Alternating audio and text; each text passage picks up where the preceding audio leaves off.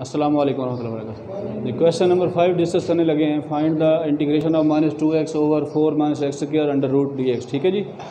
तो सोल्यूशन में सबसे पहला काम ये है कि जो फ़ंक्शन हमें दिया जा रहा है वो हम लिख लेंगे. Minus two x over four minus x square under root सवाल में आपने घबराना नहीं है कि क्या करना है? आसान सवाल खुद बताएगा कि मुझे क्या करना है.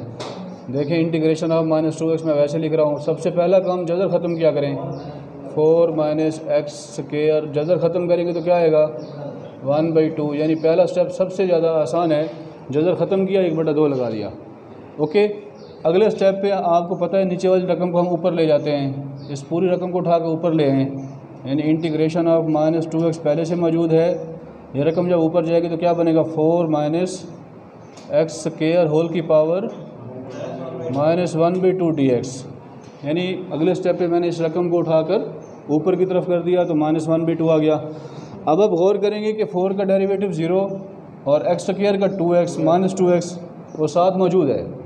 अब बनाने की ज़रूरत नहीं है। साथ जब डेरिवेशन मौजूद हो तो इसको आप कैंसिल कर देते हैं, इसको इग्नोर कर देते हैं और पावर में एक ऐड करेंगे, उसी को डिवाइड करेंगे, बस आंसर होगा। यानी four minus x square whole की power minus one by two में प्लस वन करेंगे।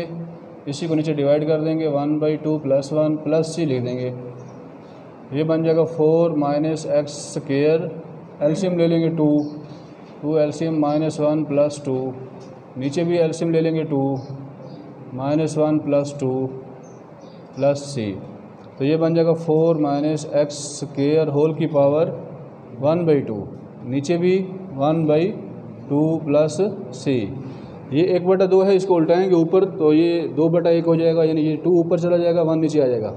Two four minus x square इसको आप फिर अंडर रूट में लिख लें। Plus C